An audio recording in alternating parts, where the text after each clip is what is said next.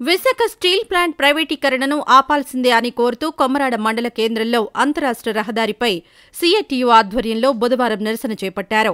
ఈ నిరసన కార్యక్రమాన్ని ఉద్దేశించి సీఐటియు మండల నాయకులు కొల్లి సాంబమూర్తి భవన కార్మికుల సంఘం నాయకులు యామక గౌరునాయుడు రైతు సంఘం నాయకులు మడక శివన్నాయుడు మాట్లాడుతూ ఈ రోజు విశాఖ స్టీల్ ప్లాంట్ను కేంద్ర ప్రభుత్వం ప్రైవేటీకరణ చేస్తామన్న ఆలోచనని వెంటనే విరమించుకోవాలని ఎందువల్ల అంటే ముప్పై రెండు మంది ప్రాణాలు బలిదానంతోనూ అరవై నాలుగు గ్రామాల ప్రజలు ఇరవై ఐదు వేల ఎకరాల భూములు వీరందరి త్యాగాలతో సాధించిన ఆంధ్రుల ఆత్మ గౌరవ ప్రతీక విశాఖ స్టీల్ ప్లాంట్ను ప్రైవేటీకరించాలని బీజేపీ మోదీ ప్రభుత్వం దుర్మార్గంగా చేసిన నిర్ణయాన్ని వెంటనే ఉపసంహరించుకోవాలని కోరుతున్నామని అన్నారు.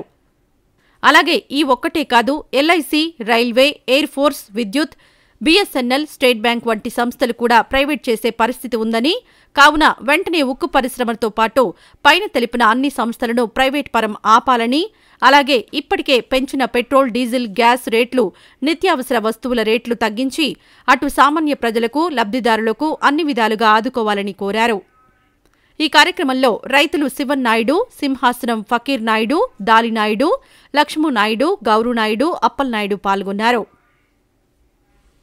ముఖ్యమంత్రి గారు ఒక లెటర్ రాసి ఆందోళన చేసి అక్కడ ప్రైవేట్ పరం చేయకుండా ఆపారు. అలాంటిది మీరు ఎందుకు చేయరని చెప్పి తెలియజేస్తున్నాం. వెంటనే జగన్మోహన్ రెడ్డి గారు మీరు రంగంలోకి దిగి ఏదైతే విశాఖ ఉక్కు స్టీల్ ప్లాంట్ ప్రైవేట్ పరం చేస్తున్నారో అది ఆపే దిశగా మీరు చర్యలు తీసుకోవాలి. అన్ని అన్ని కార్మిక సంఘాలతో పాటు అన్ని రాజకీయ పార్టీలతో కలిసి ఏకాప్రయంతో పోరాటం చేసి ఈ ఉక్కు ప్రైవేట్ పరం ఆపాలని చెప్పి మనం అన్ని విధాలుగా పోరాటం చేసి కేంద్ర ప్రభుత్వానికి ఒక హెచ్చరిక ఇచ్చే ఈ ఉక్కు పరిశ్రమ ప్రైవేట్గా ఆప ఆపే దిశగా మన పోరాటాలు భవిష్యత్తులో ఉండాలని చెప్పి ఆ దిశగా మీరు మన రాష్ట్ర ముఖ్యమంత్రిగా మీరు చొరవ తీసుకోవాలని చెప్పి ఈ సందర్భంగా తెలియజేస్తున్నాం. నా పేరు కొల్లు సామూర్తి సిఐటి మన నాయకులు కొమరాడ. ఓకేనండి